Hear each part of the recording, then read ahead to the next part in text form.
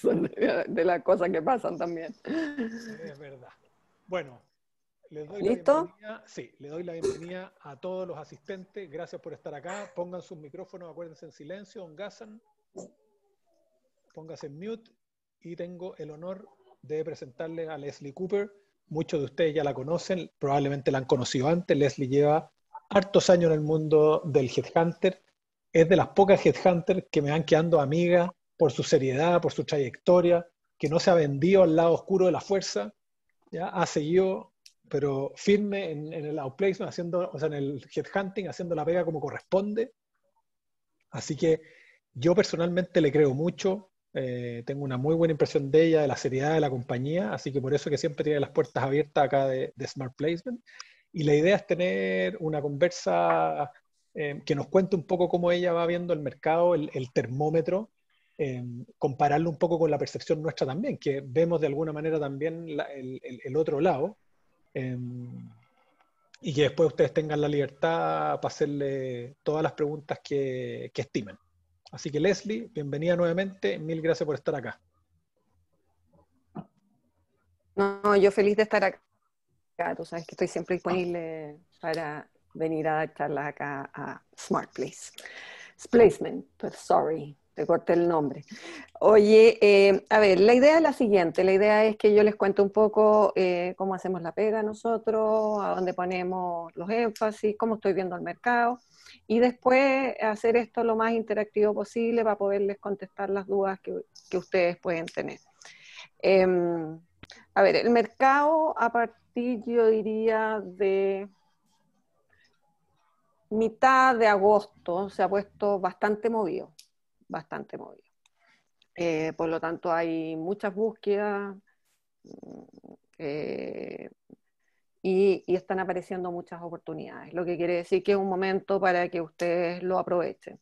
La economía nuestra es una economía media esquizofrénica que sobre reacciona para un lado o para el otro y por lo tanto se pega grandes chantadas y se pega grandes expansiones cuando algo se ve que puede venir mejor. Em, yo creo que también los programas que fueron anunciados por el gobierno en términos de todos estos eh, todas estas nuevas inversiones en infraestructura, más, más plata en el sistema, eh, eso hizo que sobre reaccionara el sistema y de alguna manera estamos teniendo eh, muchas búsquedas. Búsquedas que para mi sorpresa están como en, en muchas distintas industrias. O sea, la economía estaba muy, muy frenada, resultaba muy difícil ver búsquedas en, industrias que no fueran consumo masivo, proveedores de la minería o minería, y de repente eh, hemos visto que, eh, que, se nos han abierto búsquedas en industrias diversas. Em, desde, no sé, eh, empresas industriales a empresas de servicio, que habían estado bastante, bastante paradas. Em, por lo tanto, eso es una buena noticia para ustedes y eso implica que eh, es importante que lo, que lo que Matías tanto les dice de mover las redes, de, estar presente en el mercado, eh, lo agilicen lo más posible. Indudablemente que esta es una semana en que a pesar de que estamos todos en la casa y a pesar de que no se puede celebrar, igual estamos en 18, entonces lo vamos a cumplir en que vamos a estar en 18. Eh, y, lo más probable que el 17 ya nadie haga nada. Eh, pero a partir de la próxima semana yo sería mucho más activo en, en redes si es que no lo han estado. Eh, Octubre generalmente es un mes de planificación estratégica, por lo tanto es muy, muy importante que ustedes estén en el top of mind de los que toman decisiones o de las personas que pueden estar diciendo, ah, mira, voy a necesitar tal cosa o voy a necesitar mejorar tal área o voy a necesitar implementar tal nuevo proyecto. Eh, entonces están en un periodo que es bastante eh, crítico. Normalmente, de acuerdo a nuestros ciclos de búsqueda, eh, es importante que estén presentes en el mes de octubre porque es el, mes que normalmente se revisa la planificación estratégica. Eh, hoy día se ha estado revisando más seguido, ¿no es cierto? Todos estamos conscientes que la planificación estratégica ha sido un continuo, eh, pero eh, no cabe ni una duda que va a ser un mes en que si las empresas van a entrar a revisar y a ver qué es lo que van a necesitar a futuro y por lo tanto ahí es muy importante estar presente y estar presente teniendo conciencia de qué es lo que se busca hoy, ¿no es cierto? Eh, los ciclos económicos de alguna manera em, hacen que lo que piden las empresas en ese minuto cambie. Eh, estamos con un ciclo que está más activo, pero eso no quiere decir que no sigamos estando con una economía que está bastante afectada. Por lo tanto, eh, es importante que ustedes pongan los énfasis en su área funcional, en aquello que hoy día se requiere más. O sea, si yo estoy en administración y finanzas, por ejemplo, eh, es un área que hoy día no está en los grandes financiamientos. Está más bien en las renegociaciones de pasivos, en el control de gestión, en la generación de KPIs para poder controlar la actividad, en ser un buen partner del negocio, de ir llevando todos los termómetros a tiempo. Em, está en temas que son más vinculados a una economía menos, menos bollante. ¿okay?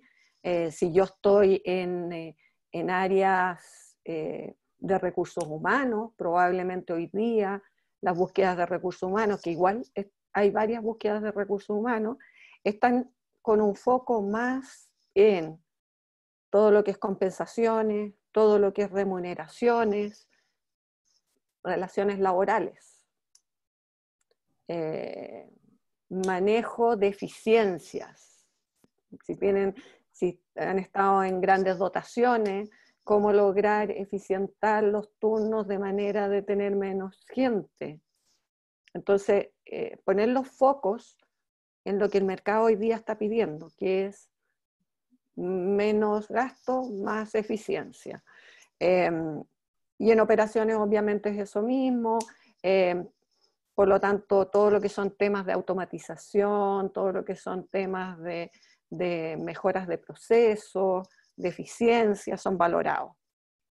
Entonces es importante recalcar esos temas. Em, en áreas comerciales, hoy día el foco no es el premio EFI. O sea, eh, no. En marketing el foco es todo lo digital, todo lo que es el, marketing a través de redes. Eh, ahí está el foco no está en las grandes campañas ni en los grandes gastos. Entonces es importante que si estoy en marketing, vuelque un poco a qué es lo que me ha tocado hacer en el uso de las redes, en eficientar presupuestos. Eh, si estoy en, eh, en, el área comercial y me ha tocado ventas, ventas es importante. Porque hoy día lo que busco es sacar el inventario, eh, es lograr rotar, es tener caja. para las empresas, eso es lo otro que no mencioné en, administración y finanzas. Hoy día el control de la, de la caja es, cualquier cargo de finanzas lo están pidiendo. El flujo de caja hoy día es muy importante. Todos ustedes saben que las empresas eh, quiebran por caja, no quiebran por, por otra cosa. Entonces, eh, es muy relevante. Em, ¿Qué es lo que se está valorando hoy día? Y eso es súper importante. Todas las organizaciones van a tener un problema de energía. Hemos estado todos sujetos a, a una situación que nos incomoda porque no la controlamos, eh, estamos sujetos a, ansiedad, a miedos, a, a, una situación incómoda en que nos hemos adaptado como el animal en, riesgo. Y eso hace que nuestro sistema reaccione durante un buen tiempo bajo estrés. Em, yo fui atleta durante un buen tiempo y, y, el estrés, uno a cierto nivel es bueno, porque te potencia, porque te da energía, pero cuando te pasas de revoluciones, viene el problema. Y ahí viene el sobreentrenamiento y viene la máquina que se revienta. Y cuando la máquina se revienta, se nos va la energía. Y yo creo que todas las organizaciones hoy día van a tener un problema de energía. Entonces, es muy importante que hoy día ustedes en las entrevistas muestren esa capacidad de energizar una organización. Em, hoy día la actitud es súper importante, tener una actitud positiva, tener energía, tener esa capacidad de mover la organización, porque por ahí va a haber mucho problema. Em, yo creo que, eh, Matías, yo abriría ahí un poco a preguntas y después... Encantado, encantado, sí. Yo me gustaría preguntarte, hacerte la, primera pregunta. Antes de la pandemia, que nos contéis un poco si ha cambiado la pedida del cliente. Porque después ya nos vamos a meter en temas de renta, pero antes de pandemia te pedían X, Y, Z y después de pandemia te piden A, B, C o, como que volvió toda la normalidad? No, no, no. Hay un cambio, indudablemente que hay un cambio. Hoy día hay un montón de cosas que son tremendamente sensibles. Hoy día las, las empresas están siendo mucho más cuidadosas. Eh, indudablemente que si yo estoy contratando un gerente general hoy día, quiero que haya sido gerente general. Las apuestas no estoy dispuesto a tomarlas. Eh, no están dispuestos a los riesgos. Entonces quieren a alguien que haya hecho lo que andan buscando, ojalá en la misma industria o en una industria extremadamente relacionada. Eh, no, no, no están dispuestos a correr riesgos. De arriesgar ni un peso. De arriesgar nada, nada. Y por otro lado, tampoco están dispuestos a, a, tener, Uy, se me está rebotando. Sí, está ahí dos veces. Estoy dos veces ahí se fue. Em, tampoco están dispuestos a, verse expuestos al medio. Entonces, em, las características personales son importantes. Hoy día no quiero contratar un ejecutivo que de alguna manera me pueda generar algún problema con alguno de los stakeholders. En trato, hoy día los temas de acoso laboral, acoso sexual, acoso de todo tipo, son complejo. Entonces, eh, están siendo mucho más cuidadosos, están siendo mucho más eh, cuidadosos en las características personales de, los ejecutivos a los cuales están contratando. Entonces te piden, eh, obviamente, gente que se relacione bien, que no vaya a generar conflicto, pero que tenga a la vez capacidad de mover a la organización. Eso. Oye, y mm, respecto, respecto a eso mismo, em, ¿cómo, ¿cómo, veis tú, porque esto yo lo, converso harto con, con, la gente, con los prospectos especialmente, los que estamos en, en, la edad, en la etapa media, digamos, de, de nuestra vida laboral, en lo, entre 40 y 45 probablemente, estudiamos, no sé, pues yo salí de la universidad el año 96. Después me hice un MBA el año 2002 y después paré de estudiar. Pues. Entonces, como que uno busca pega con lo que estudió hace 30 años atrás. ¿Cómo habéis visto eso? O sea, para una persona de 45, que es como el promedio del outplacement, eh, hoy día te piden más certificaciones, más diplomas, o sigue entrando el gallo que estudió en el año 85 ingeniería en la Chile, igual, así no tiene nada más. A ver, no importa que no tenga nada más, lo que pasa es que tenéis que estar actualizados. O sea, sobre todo si tú vas a ir a una, reunión, tienes que estar al tanto de lo que está pasando, pues venís de Marte. Mm. Entonces, tienes que, y sobre todo quienes están en Outplacement hoy día, deberían, hay un montón de webinars, hay un montón de charlas, eh, hay que estar al tanto de lo que está pasando, leer el diario financiero, saber lo que está pasando con los distintos grupos. Eh, llegar con, un contexto general de la industria a la cual uno va a ser entrevistado. O sea, eso es, pero eso siempre ha sido así, Matías, no es, no es de ahora. O sea, obviamente eh, alguien que tiene un posgrado y sobre todo un posgrado en una buena universidad o alguien que ha tomado cursos de transformación digital o de inteligencia artificial o de ese tipo de cosas, indudablemente que, que aporta pero, pero alguien que está medianamente al tanto de lo que pasa en el mercado y que tiene una carrera eh, exitosa, lo importante es que dé una buena entrevista. Y, una, ¿Y qué es lo que es una buena entrevista? Es que la persona se plantee como efectivamente lo que es, que si yo tengo un cargo gerencial, tenga posturas de un gerente general. Y es, o, o, no sé, si soy gerente de área, posturas de gerente de área, lo que significa que sé lo que estoy hablando, sé lo que he hecho, sé las fortalezas que tengo y mm. puedo explayarme sobre ellas. Pero, el, seniority. El seniority. Pero si yo tengo a alguien que viene con un discurso que no normalmente no pasa con la gente que, que, que viene el outplacement, pero que viene con un discurso preformateado y que cuando tú entras un poco se enreda y, te das cuenta que lo que está vendiendo como, un logro propio, en realidad, no sé, ya al maletín, pero no, no, fue quien lo hizo, no, no sirve de mucho. O sea, realmente, no sé, de repente hay gente que te dice que participó en cosas y tú le dices, ah, mira qué interesante, cuéntame un poco más, y quedan en blanco.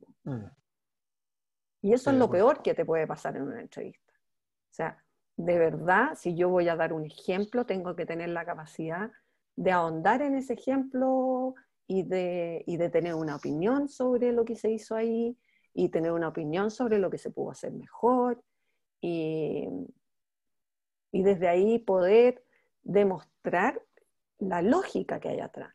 Porque ¿qué es lo que hacemos nosotros en la entrevista? En el fondo es tratar de llegar a conocer al, al, al candidato de una manera de entender cuál es su forma de razonar, cómo piensa, cómo, cómo llega a las conclusiones que llega. Eso, te, quería, eso te quería preguntar, Leslie.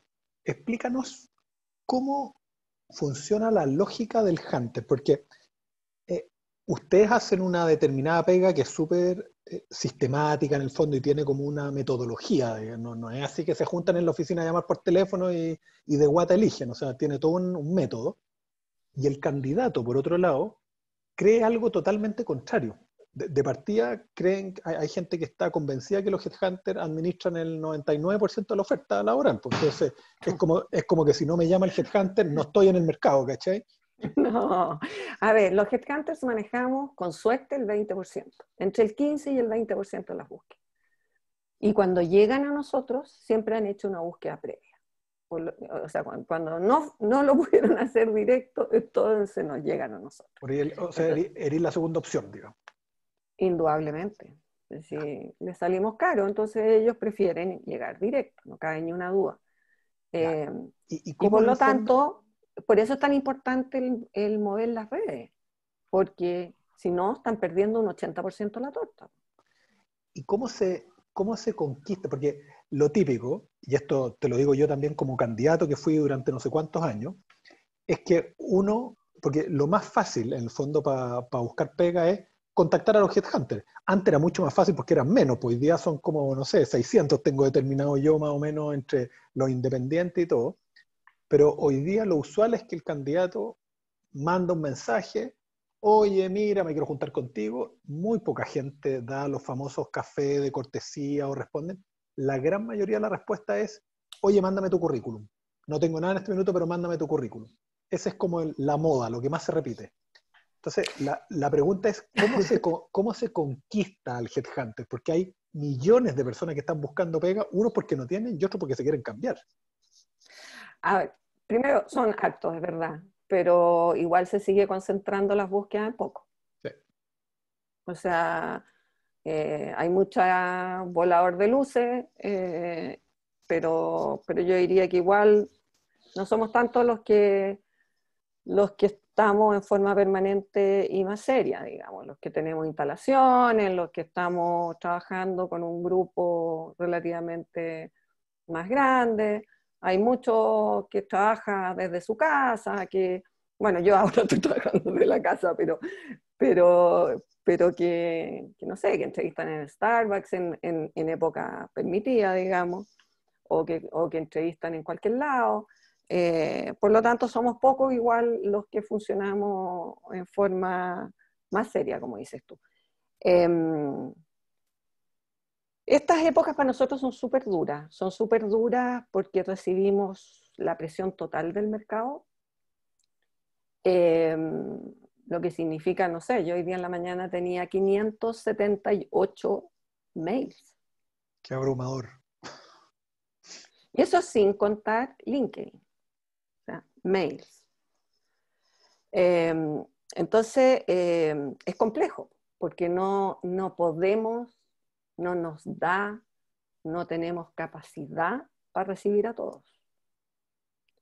Eh, y eso hace también que muchas veces las lecturas son rapidísimas de los mails em, y de repente se te va porque lo viste en el teléfono y, se, te, marcó como leído y después no lo viste eh, y no contestaste y la gente está un poco agresiva respecto a que uno no responda o que, o que no reciban la atención con justa razón, porque la gente está en un periodo en que no lo está pasando bien. Pero visto desde el lado de nosotros, nosotros también estamos súper abrumados con la carga de eh, que significa eh, esto porque la mayoría, por lo menos todas mis consultoras son ingenieros comerciales, yo soy economista.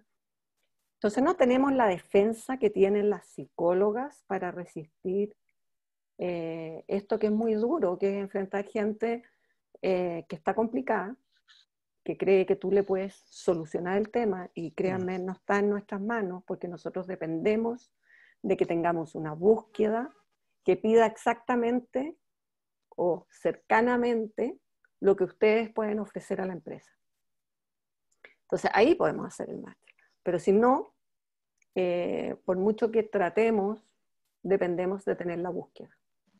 Eh, y, además que ustedes funcionan on demand, digamos, o sea, te llama el cliente con una búsqueda, no es que tú estés ofreciendo gente, oye, me, se me acercó un candidato súper bueno, mira, te tinca para... No, es así. Ahora, sí, es así, funciona así. Nosotros, las empresas nos contratan para hacerle una búsqueda determinada y en base a eso nosotros hacemos un levantamiento de mercado, eh, tenemos un equipo de research que hace un levantamiento de mercado y ahí, ojo, porque muchas veces cuando los llaman profesionales jóvenes, porque el research normalmente son profesionales jóvenes que están siendo dirigidos por una consultora. O sea, cada una de mis consultoras trabaja con un research la consultora le da la instrucción, quiero que me levantes este mercado, quiero que me veas estos perfiles, y ellos llaman, ellos hacen el primer llamado. Y en ese primer llamado puede que no tengan toda la información, puede que eh, ustedes lo noten como, mm, no, mm, un cabro chico o no sé qué. Y ojo, es muy importante la relación con ellos, porque por lo menos a mí, mis research, créanme que cuando alguien es simpático con ellos, me van a hinchar la vena hasta que yo los vea. O sea, puede que no me sirvan para esa búsqueda, pero van a llegar de vuelta donde mí y me van a decir, Leslie, esta persona eh, tiene tales características, entonces yo le voy a decir, sí, pero no me sirve para esta búsqueda. Sí, no te sirve para la búsqueda, pero yo creo que es muy importante que tú lo conozcas y te van a insistir e insistir hasta que tú los veas. Entonces, esa relación con el research, que son como quienes nos hacen la pega de levantamiento, es súper importante.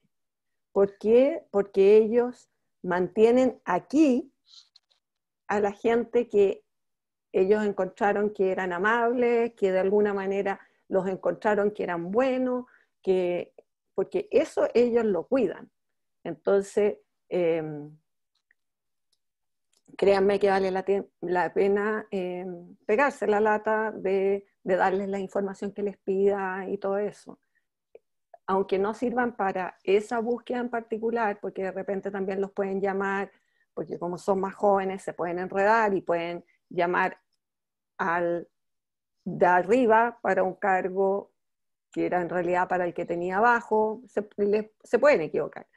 Pero, pero si se equivocan en eso, ellos después mantienen en la memoria a la gente con quien han hablado y te los van a meter en algún proceso en que sí cuadre.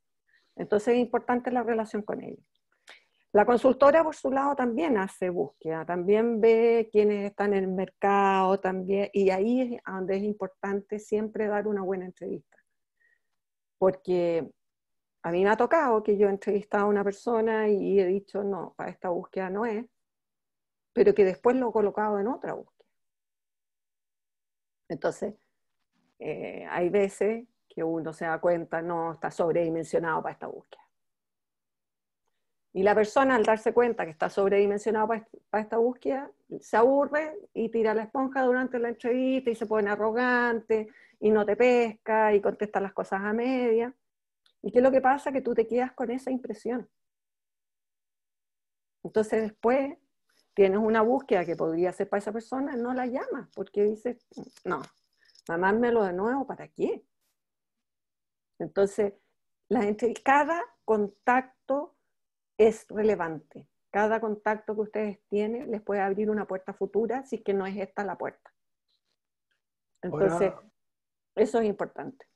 Leslie, pensando tú que conocís bien la industria, si piensas en un headhunter grande, grande me refiero que, que haga muchas búsquedas, y uno chico, pero que sea empresa, una empresa chica, digamos, no, no una persona individual.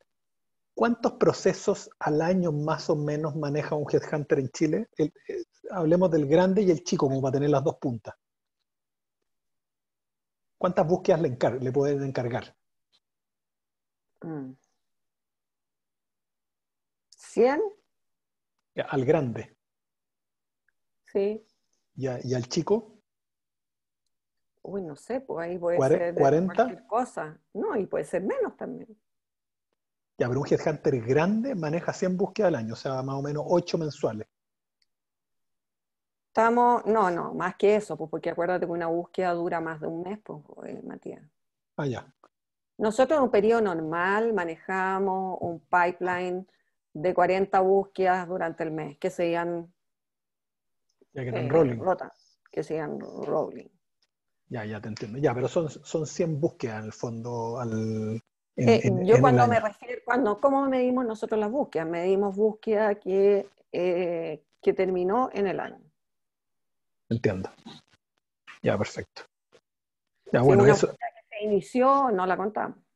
Eso es importante para los alumnos que están escuchando, porque yo lo que les digo es, oye, de 100 búsquedas, buscan de todos los tipos, o sea, buscan gerentes, subgerentes, generales, de logística, de marketing, o sea, eso se empieza a atomizar en las distintas, en, las distintas como áreas y especificaciones. No es que un, hunter vea 50 búsquedas de gerentes generales en el año, esa cuestión no pasa. No, pues, las búsquedas de gerentes generales son como un 20% de las búsquedas. Ya. y del, y esto veamos cómo, cómo, compara con ustedes, porque una vez tuvimos un headhunter al, al, de IT Hunter, que Marco Muñoz, que él dijo que de 10 búsquedas em, reales en fondo proceso, solo 6 en promedio llegaban a buen término, porque las otras 4 o no encontraban a la persona, o se caía el proceso, o eh, le daban preferencia a alguien de dentro. ¿El caso tuyo no? No, no, porque nosotros tenemos, nosotros no somos retention, o sea, nosotros somos retention, perdón, nosotros cobramos. No es que si es que meten a alguien de adentro, eh, no cobramos. Pero, pero igual, o sea, una vez que te encargan la búsqueda, esa se ejecuta sí o sí. No es que el cliente se eche para atrás o te diga, al margen de que te paguen, pero... A ver, lo que pasa es que ahora, en periodos económicos difíciles, claro, de repente se cayeron búsquedas se cayeron más búsquedas que antes, se congelaron búsquedas. Eh, pasa que partieron una búsqueda, las búsquedas que partieron en octubre, eh, créeme que la mayoría se congeló a fines de octubre. Mm. O sea, eh, ahí tuvimos mucho freeze. Pero después de eso, una vez que estábamos en un periodo ya pandemia, pero, pero más relativamente normal en términos de que no había una gran irrupción, salvo que la gente obviamente estaba pasándolo mal y que había problemas de salud. Eh, cuando se partían las búsquedas normalmente terminaban. No, yo diría que 4 de 10 es mucho. Ya, ya, bueno. No. Pasa que se congelan búsquedas y mientras más difícil está la economía, más pasa. Pero nosotros cobramos el 50% de lo que cobramos al inicio de la búsqueda. Ah, ya. Dejan súper amarrado. Sí, pues.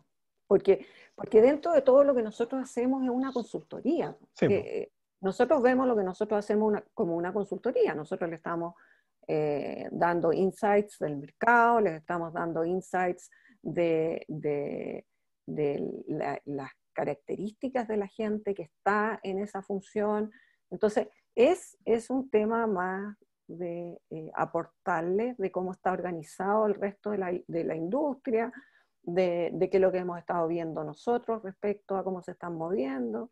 Entonces, la verdad es que no, no es que cobremos al final si el tema es exitoso o no, Sí, porque No. para que una búsqueda sea exitosa, no solamente depende de nosotros, depende del cliente también.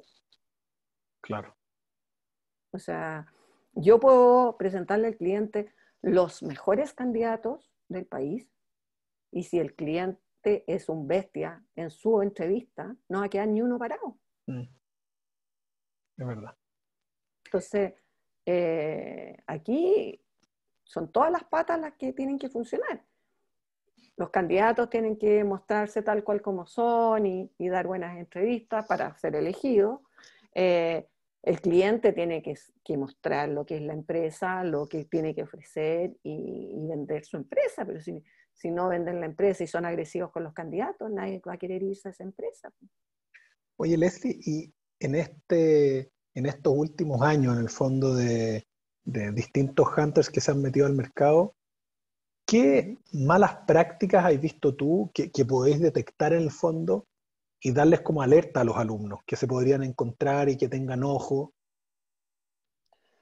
A ver, lamentablemente hay harto y nosotros recibimos mucha queja de nuestros clientes también. O sea, a mí me toca que vienen, que, que me llaman clientes y me dicen, oye, te estoy llamando, pero tengo la peor imagen de tu industria. Y tú dices, ya, gracias. Gracias. Gracias por la sinceridad. Gracias. Eh, sí, hay prácticas que no son acordes. Nosotros tratamos con personas, por lo tanto, eh, en mi opinión, debemos un respeto a esas personas. O sea, yo no puedo entrevistar a alguien eh, y, tratarlo mal o, o, ponerlo en una situación incómoda. O sea, yo voy a tratar de lograr las respuestas que quiero lograr para poder entender que las competencias que estoy evaluando se cumplen en ese candidato, pero, pero no tengo por qué ser agresivo si no me está contestando lo que, lo que yo quiero que me conteste en términos de respuesta, porque de repente la gente, claro, se da vuelta y se da otro tema, pero puede ser un problema tuyo que tú planteaste mal la pregunta y la persona no te entendió la pregunta. Entonces, reformula tu pregunta y vuelve a preguntar.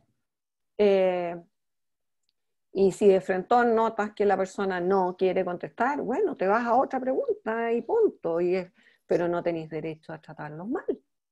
Entonces, hay gente que va muy al choque, hay gente que, que en el fondo los somete a situaciones incómodas, que yo no estoy de acuerdo con ese tipo de entrevistas, creo que no corresponde.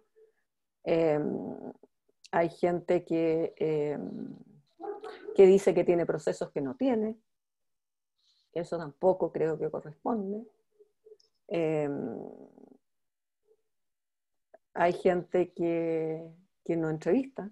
O sea, que la persona llega, eh, algo no les pareció y, y, dan la entrevista por terminada.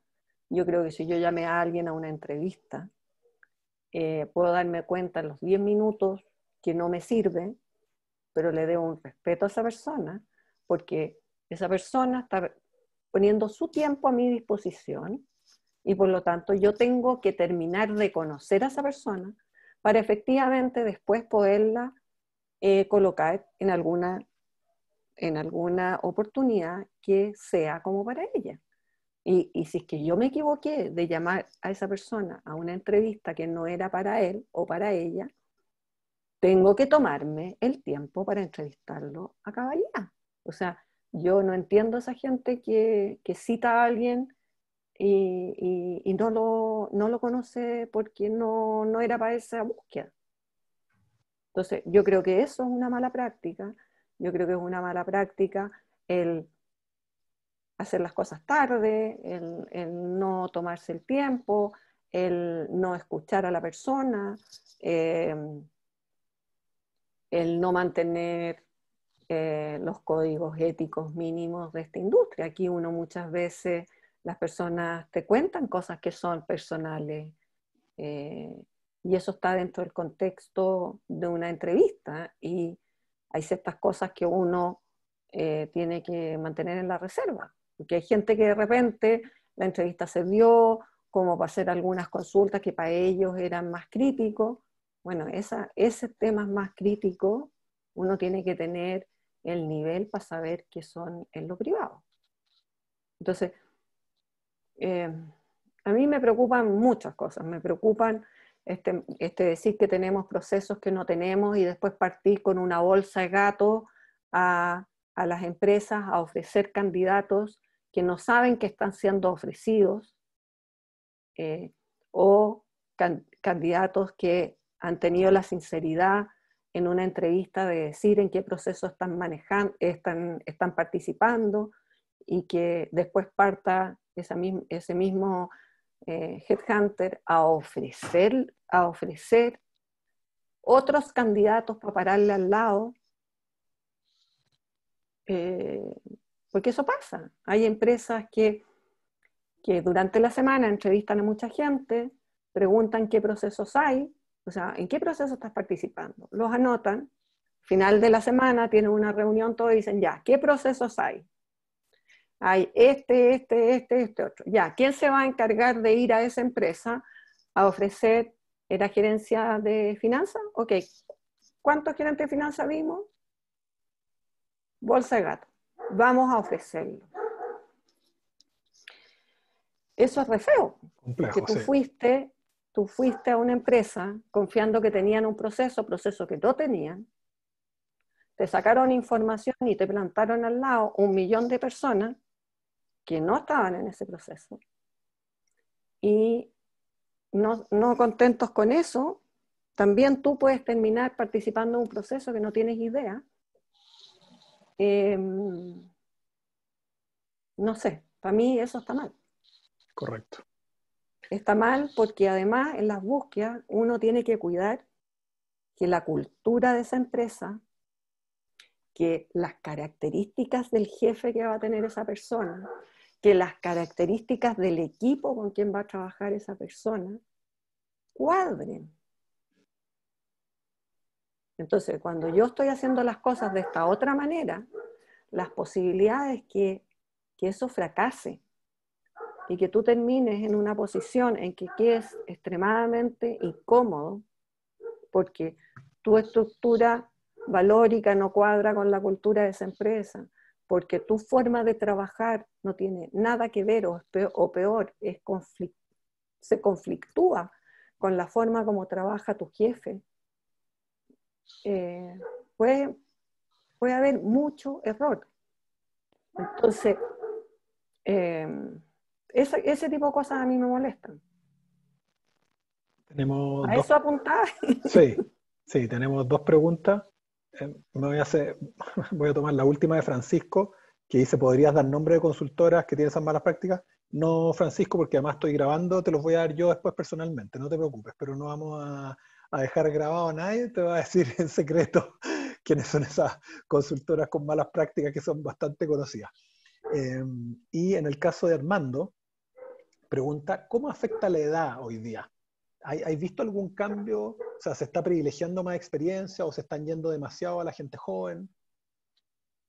A ver, hay áreas funcionales que indudablemente em, se ven más afectadas por eh, la edad.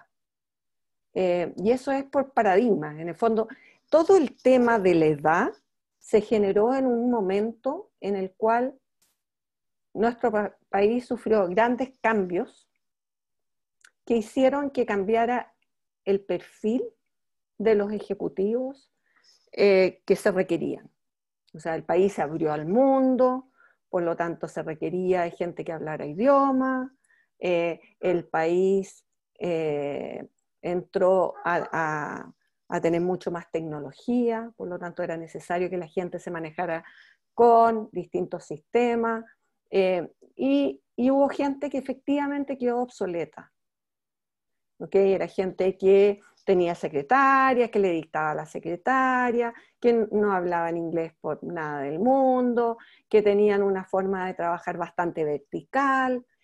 Y eso cambió, cambió radicalmente. Entonces ahí hubo una generación que quedó obsoleta, que en ese minuto estaba alrededor de los 50. Y, eso, y, el problema con nosotros es que nos quedamos pegados porque hoy día tú tienes gente de esa edad corriendo la maratón de Nueva York y tienes gente de esa edad que está más al día que nadie en, temas de tecnología y, por lo tanto nos quedamos pegados. Y ese es un tema que el país tiene que avanzar. O sea, yo creo que los temas de inclusión, que hoy día eh, se refieren solo a determinados temas como el tema de la mujer, tiene que ser mucho más amplio. O sea, hoy día el tema de la inclusión debería incluir personas mayores de 50, porque no nos podemos dar el lujo de estar perdiendo recursos como estamos perdiendo, de personas extremadamente eh, buenas y con mucho talento y con muchas herramientas para aportar a una empresa que, salen de una empresa y no, encuentran trabajo. Eh, por lo tanto, el tema también debería incluir a los mayores de 50. El tema también debería incluir a las personas con algún grado de discapacidad, porque si bien es cierto existe una ley, esa ley la hemos usado para cumplir el cupo o con gente eh, que teníamos adentro de la empresa, que tratamos de averiguar quiénes podrían sacar el carnet para, para tener la discapacidad, o hemos llenado los call centers, el back office, a donde no se vean. Y eso está mal. Entonces, eh, ahí hay un tema que hacer con respecto a, la edad. Pero yo siento que hay ciertas áreas en las cuales indudablemente la edad no importa. Em, la minería, por ejemplo. En la minería se valora la experiencia. Y sobre todo se valora en áreas, áreas de operaciones. Eh, porque obviamente eh, ahí eh, el tema de los incidentes y todo eso pegan muy fuerte. Por lo tanto, ellos sí lo valoran mucho. En general, en las áreas de operaciones, valoran la, edad, ya no solamente hablando de la minería, pero de, de otras industrias también. Administración y finanzas, yo he visto que la edad promedio ahora ha aumentado. Eh, quizás porque estamos en un periodo más crítico y eso hace que, las canas ayuden eh, en, lo que es manejo de esta situación en particular. Em, las áreas comerciales, sobre todo las áreas comerciales más vinculadas a venta, por este paradigma que existe respecto a la energía, respecto a la, a fuerza, a las ganas, a la dedicación, eh, tiende a, tener rangos de edad más bajos. Em, áreas de recursos humanos, también he visto que, ha subido un poco la edad en esta etapa. Un poco por la sapiencia que requiere manejar un tema tan complicado como ha sido esto de la pandemia em, y, el tema de relaciones laborales, em, eso de que sea alguien con una capacidad más, asentada de reaccionar eh, en forma más fundamentada y con mayor experiencia. Yo diría que eso es un poco, Matías, que, eh, que es un tema que tenemos que trabajar, pero eso lo tenemos que trabajar como un todo. Ahí tienen harto que decir ustedes cuando cuando hablan con las empresas y nosotros por nuestra parte también. Créeme que yo eh, he estado hablando mucho, mucho con las empresas de que el tema de inclusión debe ser un tema más amplio, de que el tema de los discapacitados, que están hoy día como estaban las mujeres al inicio, eh, tiene que ser tratado de otra manera, que el tema de la mujer también tiene que ser tratado de otra manera y que el tema de la edad también es un tema que se les va a venir encima, si no. Claro, si estamos, estamos de acuerdo en, lo que debiera ser. Yo adhiero 100% contigo en, en, todo lo que dijiste. El punto es que hoy día estadísticamente, un gallo entre 55 y 60, ¿lo siguen pescando para las pegas? O sea, ¿a ti te piden o, no te ponen problema o siempre te dicen, oye, tiene que tener entre 35 y 45? A ver, normalmente es más fácil, sí. Para gerentes generales hasta 50.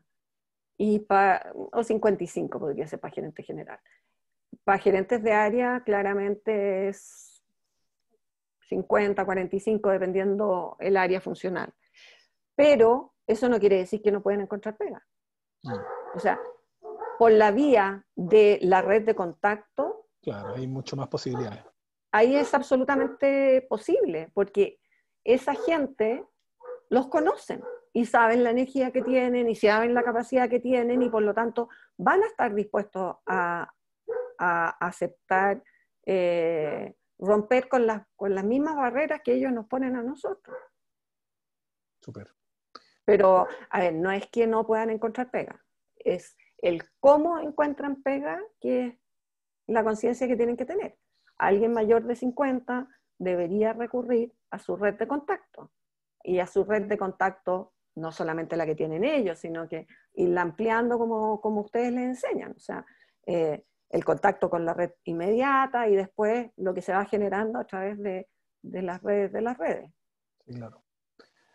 Oye, tengo otra pregunta, Roberto Rivera. Dice que si puedes comentar estadísticas de, los últimos procesos tuyos, ¿cuántos currículums se revisan? ¿Cuántos pasan el primer filtro? Un poco entender el, funnel, digamos, de cuáles son las aptitudes más valoradas, también pregunta.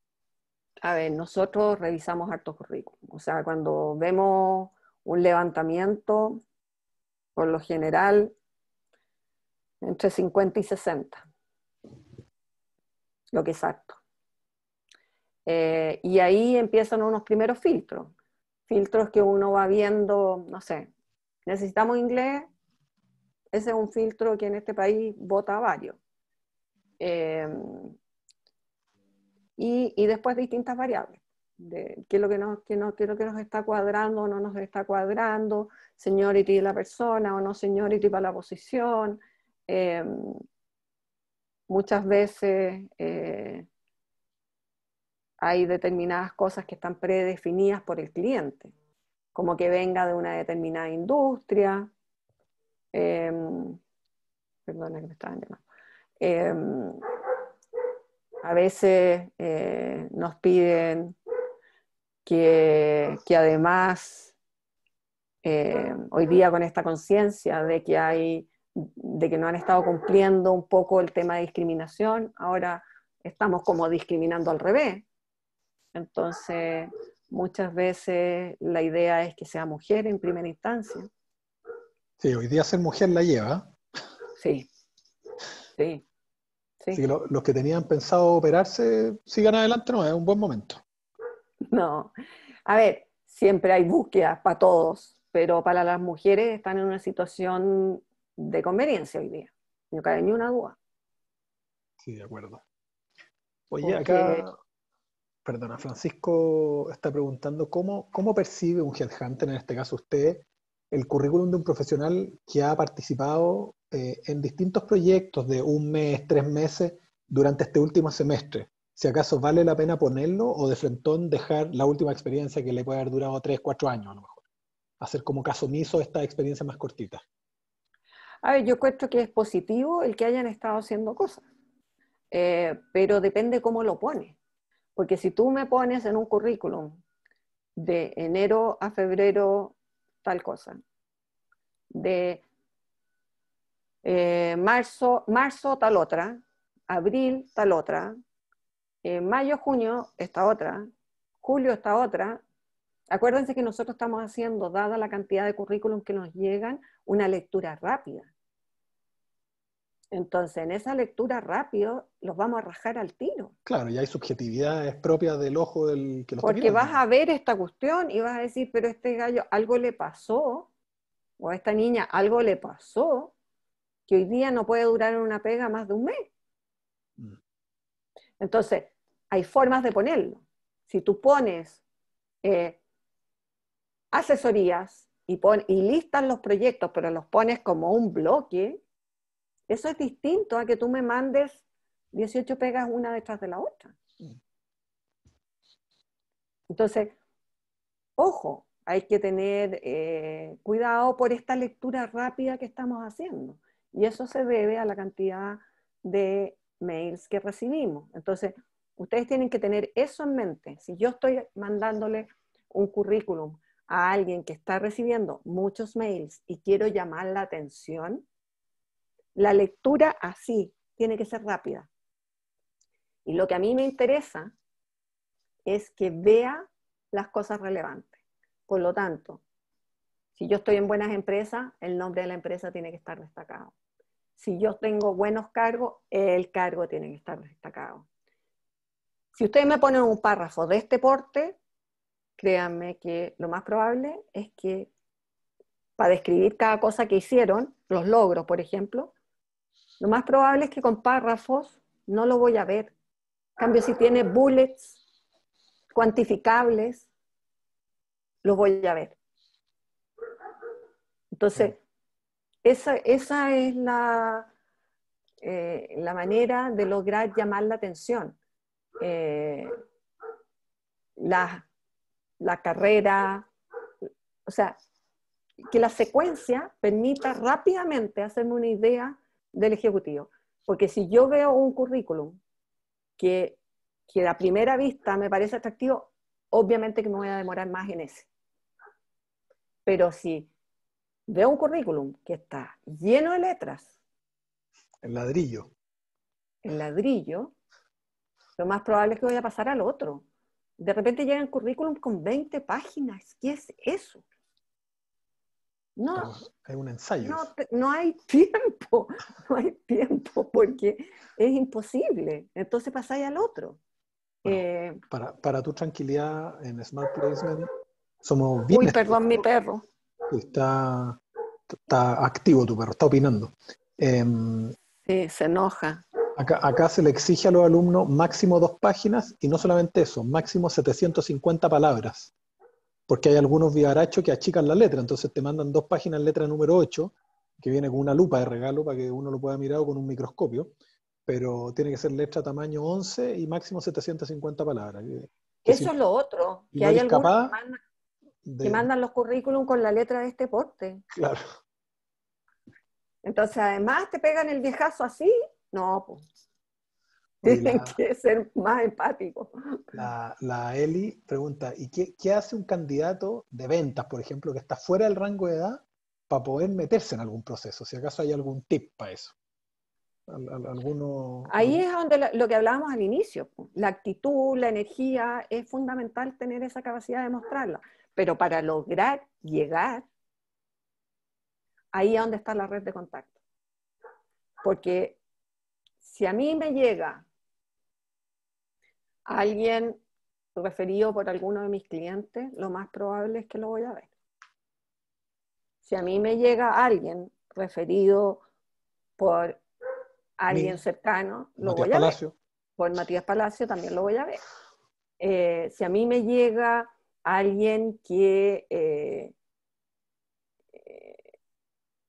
que puede a lo mejor no cumplir eh, para lo que, porque normalmente estamos en esto que nos piden un rango más, más, más, más inexperto de edad, para ponerlo. Em, entonces voy a estar diciendo, no, me, se me queda afuera. Eh, si alguien, o alguien que yo coloqué, o algún cliente, o alguien, como dices tú, Matías, alguien que uno tiene una relación más cercana, te lo recomienda, indudablemente que ahí uno tiene una tendencia a verlo. Pero la red de contacto es muy importante para, para mejorar la situación de una persona que está en un rango etario que le es más difícil la inserción en un área funcional que valora un, tramo etario más joven. Pero, y, y cuando se tiene la oportunidad, tener claro que el paradigma es la energía. El paradigma para alguien que es mayor es la energía.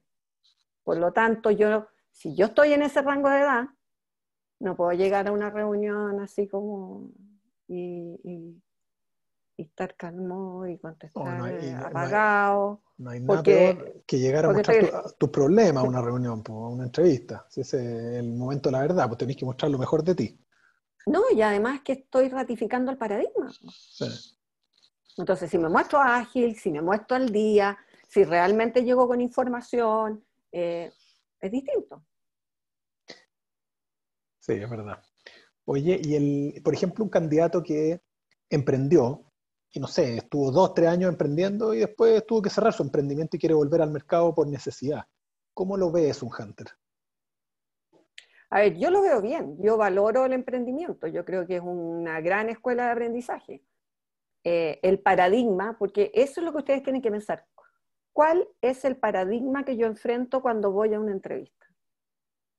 El paradigma de las personas que se han eh, independizado es que están volviendo al mercado ahora porque la situación está difícil, pero que apenas retome van a volver a, emprender. A emprender. O que no saben tener jefe. Ese uno. Y el segundo es que está acostumbrado a no tener jefe.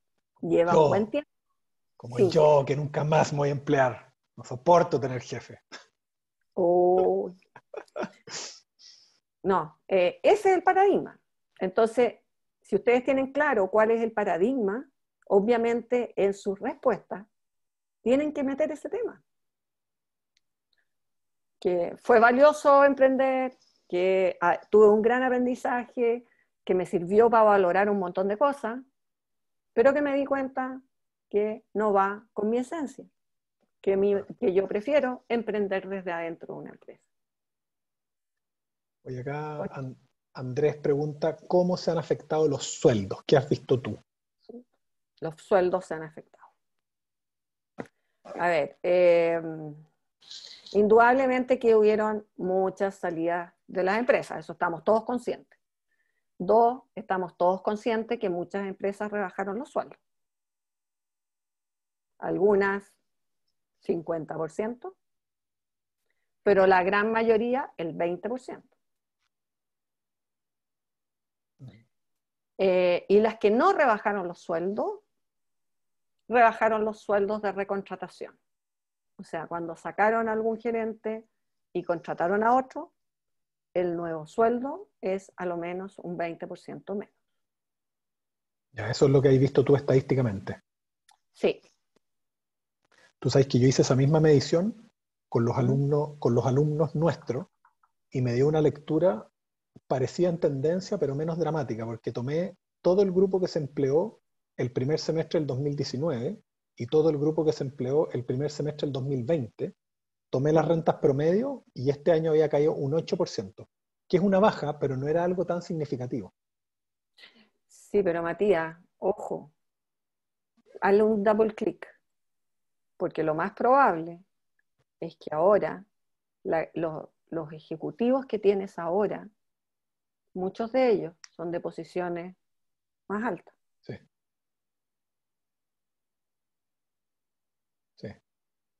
Entonces, ahí está el doble kick.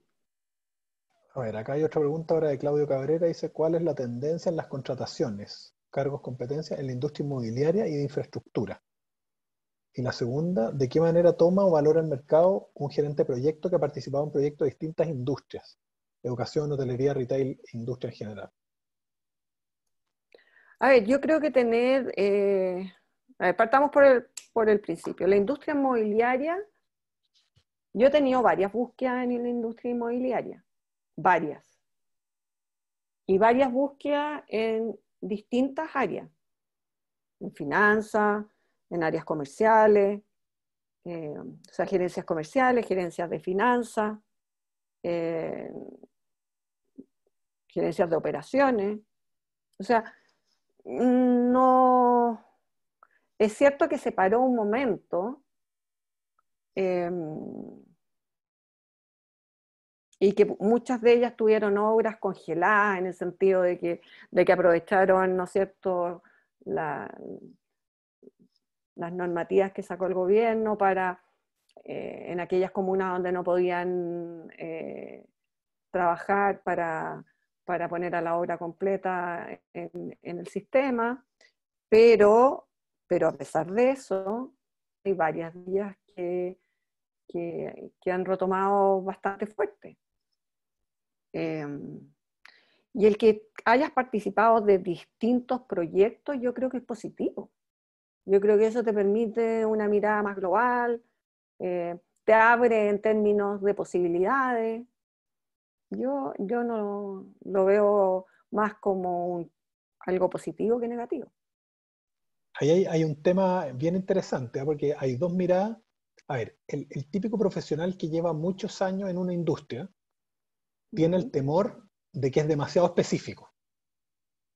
Y, el, profesional que ha pasado por distintos lados, que es más mentolatum, tiene el temor de que no lo van a pescar porque no es específico en nada, sino que como que sirve para todo. ¿Cómo has visto eso tú? ¿Qué te piden más hoy día?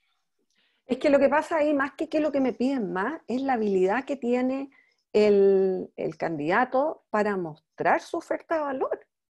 Si uno realmente tiene la capacidad de analizar cuáles son los atributos que tengo yo para ofrecer y lo decanta al que está al frente. Por eso te hablaba yo que uno tiene que estar claro respecto a cuáles son los paradigmas que yo puedo enfrentar.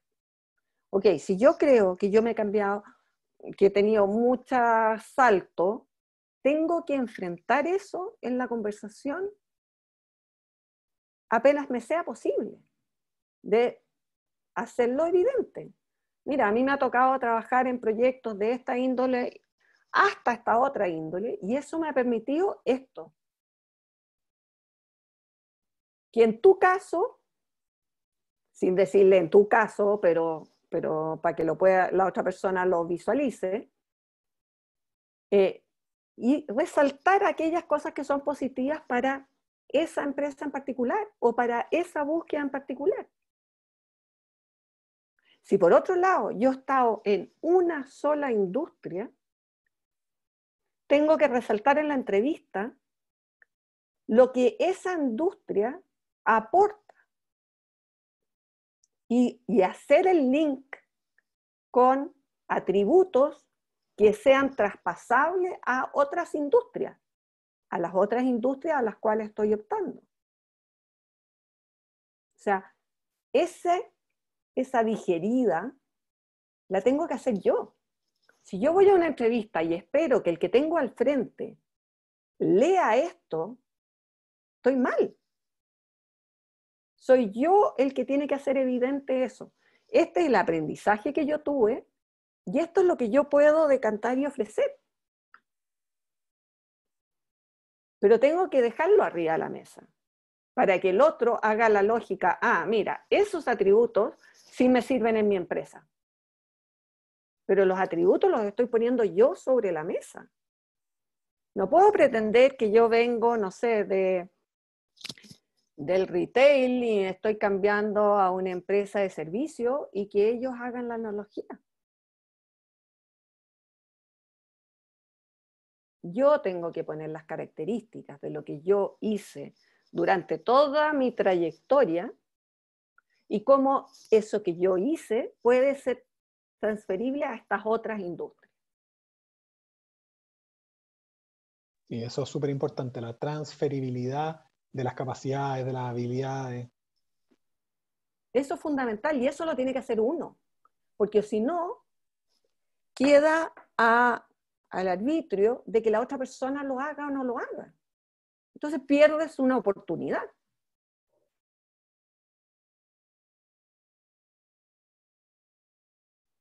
Por eso es que es tan importante que ustedes de verdad hagan un muy buen análisis de lo que ustedes han hecho, de los aprendizajes que han tenido y de, todo eso que es tan valioso que ustedes tienen para ofrecer al mercado.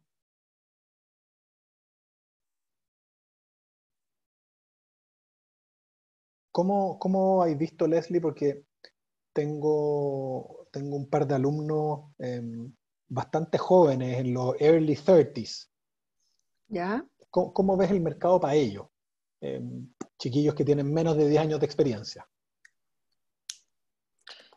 A ver, nuevamente entramos el tema de los paradigmas. ¿Cuál es el paradigma con los early 30s o under 30s? ¿Cuál creen ustedes que es el paradigma? Yo diría la poca experiencia. ¿No? El carácter. Genial. Eh, ¿Quieren viajar? O que se van a ir. Falta compromiso. Compromiso. Esos son, esos tal cual. Es que no se van a comprometer, es que, y son paradigmas nuevamente, no quiere decir que sea verdad, pero es lo que se lee. Es que no se van a comprometer, es que van a durar poco, es que como tope duran un año, es que se van a ir al sudeste asiático, es que eh, no están ni ahí, si el jefe les dice una cosa se van a mandar a cambiar, eh, si no, si no, no les, están constantemente desafiando, eh, se aburren y se van, porque no son como el, laptop, uno llega y lo cierra, chao, y no estoy ni ahí. Entonces, ese es el paradigma que uno tiene que vencer si uno está en ese rango de edad. Y que no estoy para nada de acuerdo, porque yo creo que una generación extremadamente rica en talento, em, que tiene un montón que apartar, em, que sí tiene que estar desafiada, porque si no se aburre, pero, pero lo que ustedes tienen que mostrar es que son capaces de autodesafiarse. Eh, y que sí son capaces de comprometerse. Y, eso es más que la experiencia. La experiencia eh, hoy día, ¿qué es lo que es? Si hoy día, con la rapidez del cambio, o estamos todos en permanente aprendizaje, o quedamos todos obsoletos, no solamente los jóvenes, todos. Entonces hoy día lo que hay que mostrar es capacidad de aprendizaje. Capacidad de aprendizaje, flexibilidad, actitud. Leslie, ¿y qué mm. pasa, por ejemplo, con la gente que tiene DICOM? Que por A, B, C motivo tiene DICOM vigente. ¿Cachai? Tú sabes que siempre los DICOM uno los puede explicar, pero ¿qué pasa aún con la famosa ley DICOM? Eh, que se supone que no pueden ver, a los candidatos igual los cortan. No les dicen, pero nunca más los llaman cuando cachan que tienen DICOM. A ver, es que hay, hay determinadas cosas que son complejas.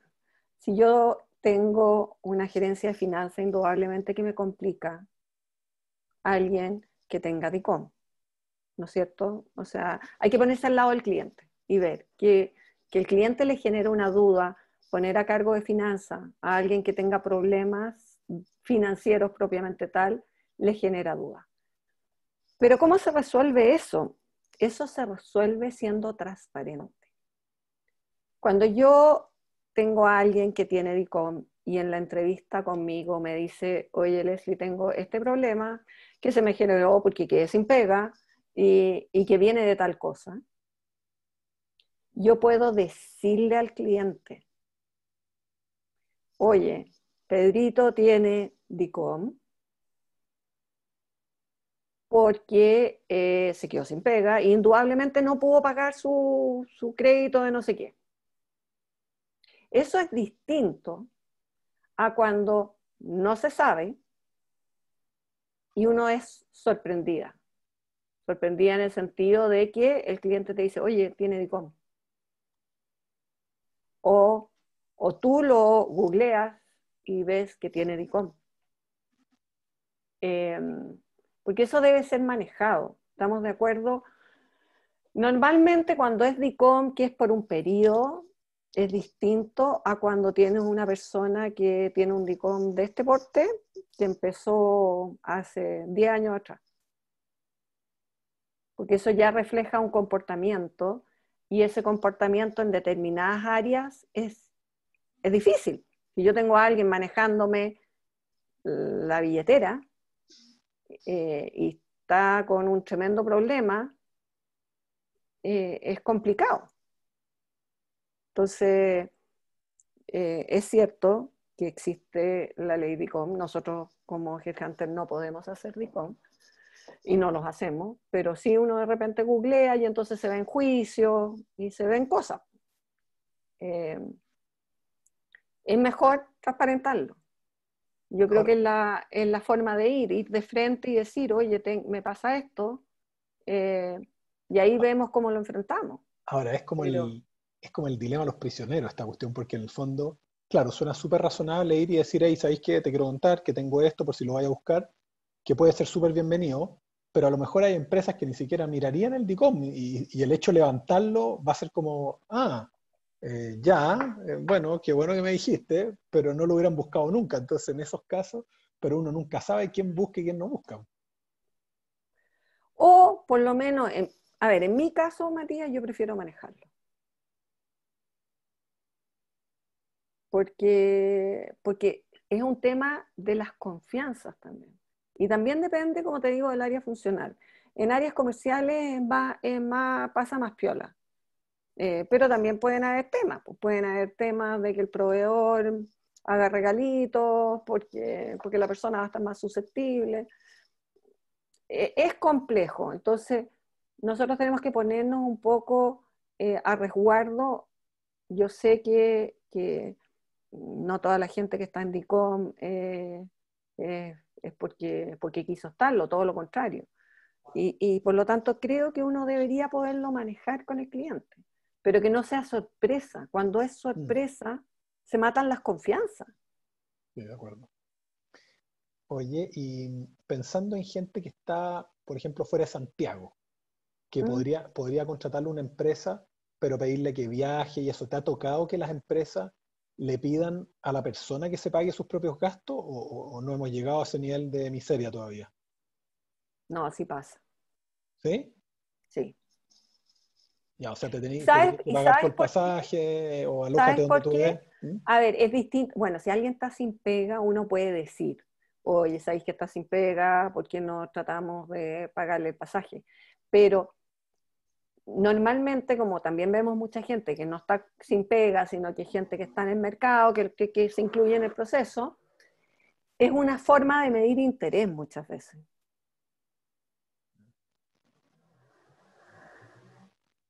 Entiendo. Más que miseria, pero hay veces que miden interés de esa manera. Eh, ahora, yo estoy de acuerdo que si alguien está sin pega, lo razonable sería pagarle el, el traslado. Acá Armando está preguntando, dice, uno está siempre buscando los portales en que se ofrecen cargos con X requisitos. ¿Es excluyente tener todos los requisitos para postular? ¿Cómo es mirado que tengas, por ejemplo, el 70% de los requisitos y postules? Acá yo tengo una analogía muy buena, después la voy a decir una vez que tú expliques. La misma que uso yo, ¿no? Mira, normalmente las empresas quieren a Batman por el precio de Robin. Eso es lo que piden. Entonces, la lista es la lista del viejo pascuero, pues ponen todo. Eh, y muchas veces nosotros trabajamos con un irreal, o sea, es como, ya, y no quieres agregarle algo más para, ver eh, no, yo creo que eh, ahora hay cosas que cuando uno ve la lista, uno claramente sabe que hay cosas que son esenciales, ¿no es cierto? Entonces, ahí es donde uno tiene que ver de esas cosas cuáles son esenciales. Y si es que, claro, uno está participando en un tema, no sé, que es absolutamente técnico, que requiere, no sé, un, un tema de físico nuclear eh, y uno es ingeniero comercial y, no ha estado ni, cercano al, tema, ahí es como, como no, pero, pero si es otra industria o si es, si es otra industria y yo puedo romper ese paradigma haciendo esta asociación que hablábamos antes y dándole vuelta a mi experiencia y y las características que tengo desde mi experiencia que podrían aportar a eso, no veo por qué no. Es más, muchas veces pueden haber candidatos que tienen más tickets, pero que no son los elegidos, porque tienen un ticket en un aspecto que es más importante, a lo mejor la empatía. Yo, yo la analogía que ocupo es, le pregunto tanto a hombres como mujeres, le digo, oye, ¿tú eres casado? Sí, ya, tu señora, por ejemplo. ¿Es la mujer más linda que hay conocido en tu vida? No, me dicen normalmente. ¿Es la más simpática de todas? Tampoco. ¿Es la más inteligente así, pero ya brillante? No. Bueno, sin embargo, te casaste con ella igual. Entonces, uno elige eh, los equilibrios. Tú no estás eligiendo siempre 10 de 10 en todo. Y las empresas lo mismo. Las empresas no buscan 10 de 10, buscan equilibrio. Además de que hay un tema, que, yo siempre doy el mismo ejemplo, así que tú ya lo conocí, Matías. Em, esto cuando uno participa en un proceso es como cuando un deportista corre en la Olimpiada. No siempre gana el mejor. Mm. Es más, muchas veces campeones mundiales les han ganado en la Olimpiada siendo favoritos 100%. ¿Y por qué? Porque ese día había otro que estaba mejor. Entonces, en la entrevista es cuando, cuando sin ponerse presión, porque si es, va a ser, si no, no va a ser. Por lo tanto, ustedes tienen que llegar a la entrevista confiados en los atributos que ustedes tienen y punto. Y en ese momento mostrar lo que son y las capacidades que tienen, punto. Y si es que, si es que es para ustedes, va a resultar. Y si no, lo que sí tiene que ser, tiene que ser un, aprendizaje para ustedes. Ahí decir, ok, ¿qué es lo que hice bien en esta entrevista? ¿Qué es lo que hice mal? ¿Qué cosas pude haber incorporado en la entrevista que no, lo, que no incorporé? Para que la próxima vez lo tengan más decantado y lo puedan hacer mejor. Pero el que no queden en un cargo no significa nada. Ustedes pueden ser el mejor candidato, pero en ese minuto no, no hubo el feeling o sencillamente un tema de química. Mm. La química entre las personas existe y puede que con la persona que me entrevistó no haya química y, punto. Eh, y eso también es válido. Entonces hay que mirar para adelante eh, y, créanme que van a encontrar algo muy bueno para cada uno de ustedes. Si, si en el fondo está en lo bien que ustedes hacen la pega. Acá Emma pregunta, y se han salido reportajes de que la pandemia ha afectado principalmente a la mujer en el ámbito laboral.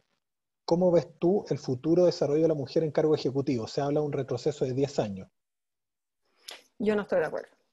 A ver, yo creo que sí afectó muy fuerte a la mujer porque cuando tú enfrentas en una sociedad como la nuestra, en que, en que el hombre tiene la carga de ser el proveedor, que es una tremenda carga y muy injusta por lo demás.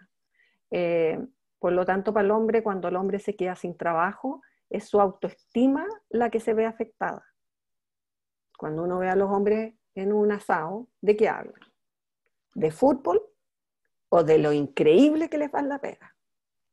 Entonces... Eh, o, de mujeres, o de mujeres. O de mujeres, sí, pero, pero, pero ¿para qué estamos con cuenta? El tema de la pega y de los proyectos más around the world que manejan es relevante porque, porque les alimenta el ego. En el fondo le, el, el, macho alfa le sale por ahí. Entonces, eh, obviamente para el hombre es un tema eh, que le afecta su autoestima. A las mujeres no. Las mujeres, eh, el, tema de quedar sin pega, sí, es, duro, tiene un montón de repercusiones, pero no afecta su esencia. No, no, no va sobre su ser. En el hombre sí va sobre su ser, que es grave. Y eso es porque le hemos puesto este tremendo carga de que son proveedores. Entonces, dado eso, cuando tú tienes que manejar reestructuraciones, visto desde esta perspectiva social nuestra, nos resulta más fácil sacar mujeres porque se da por hecho que hay alguien que provee, ¿no es cierto? Entonces, cuando tú sacas un hombre, normalmente estás afectando a un grupo familiar. O sea, esa es como la lectura que yo veo detrás. Entonces, sí es efectivo, salieron muchas mujeres, pero por otro lado, en las contrataciones se está considerando mucho más esto del equilibrio. Y ahí hay muchas más oportunidades para las mujeres. Entonces yo no creo en eso de los 10 años, porque, porque las empresas están dando oportunidades mucho más arriba a las mujeres. Mm. Mucho más arriba, quiero decir, en directorios, en gerencias generales, en gerencias de área. Entonces, si bien es cierto, el recorte, cuando uno hace un recorte y uno misma, véanse ustedes dentro de la empresa, si a ustedes les tocaba hacer un recorte, ¿a dónde les era más fácil? Normalmente es más fácil eh, sacar a alguien que es considerado un segundo ingreso a alguien que es el ingreso primario. Entonces, estoy de acuerdo de que, de que mujeres se puedan haber visto más afectadas en número, pero por otro lado, yo creo que hoy día las mujeres tienen más, más, más oportunidades que los hombres por esto de, de que se están generando más equilibrios dentro de las estructuras. Leslie, la última pregunta para ir cerrando. Francisco pregunta, ¿cómo toman los headhunters, en este caso tú, o las empresas cuando una persona tiene un parón de dos años de no estar trabajando, pero durante ese tiempo viajó fuera de Chile, y em, intentó hacer proyectos que finalmente por la pandemia fracasaron. Francisco, ahí está en la explicación que tú des. Em, depende de la explicación. Eh, es una explicación difícil, porque puede ser que sea leído como, em, como que no tenías muchas ganas de trabajar. Em, entonces, eh, hay que ver el cómo se digiere el, lo que uno dice. Em, el relato es, clave acá. El relato es clave, es clave. Puede ser un tremendo plus, como todos los, temas. Eh, acuérdense lo que primero les dije, aquí hay, uno tiene que ir a qué paradigmas genero y cómo los rompo.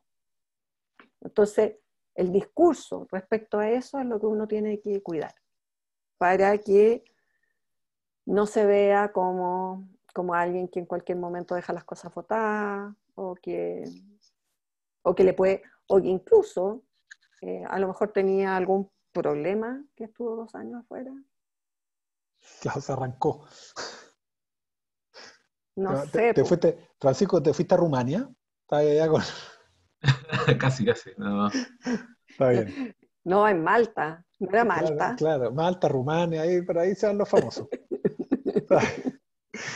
Oye. Estados Unidos también, ¿También? No, pero esos en Miami, Miami. Esos son más implacables. ¿Ah? Los de Miami. sí. Claro, Bueno, Leslie, yo te quiero agradecer nuevamente. Te pasaste muy chora la charla. Eh, muy aclaratoria, la vamos a subir después a nuestro canal de, YouTube. Como siempre, agradecerte la disposición, la buena información que nos dais. Y, y, bueno, a los alumnos también que se conectaron, eh, agradecerles la, presencia. Y nada, pues seguiremos conversando, seguimos adelante. Em, me imagino que pueden contactarte, Leslie. La Leslie se reserva los viernes. Sí, y lo otro, nosotros estamos haciendo café virtual Em, lo está manejando la Fernanda Maquena. Eh, ella es la que lo organiza. Entonces, si piden tener café virtual, todas nuestras consultoras están con, con un número determinado de café virtual a la semana. Estupendo. Y yo también.